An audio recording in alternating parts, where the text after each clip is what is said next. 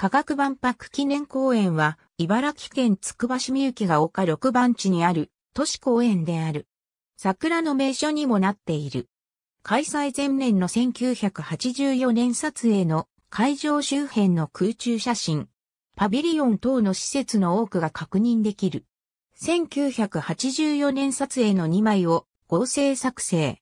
国土交通省国土地理院地図、空中写真閲覧サービスの空中写真をもとに作成。蒸気画像とほぼ同じ範囲を撮影した1990年の空中写真。パビリオン等の施設は撤去され再開発が進んでいる。画像中央下部の細長い池周辺が科学万博記念公園。1990年撮影の4枚を合成作成。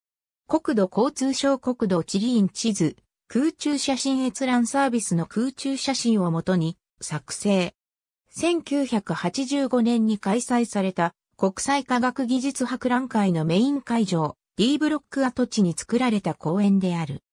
祭事の性格から万博当時を思わせるものはほとんど残っていないが、万博閉幕後に建てられた科学の門の地面には万博当時の会場図が描かれている。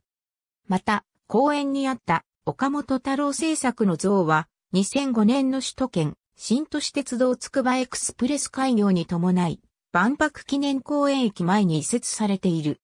その他のブロック跡地はつくば西部工業団地として民間の研究所等が集まる。ありがとうございます。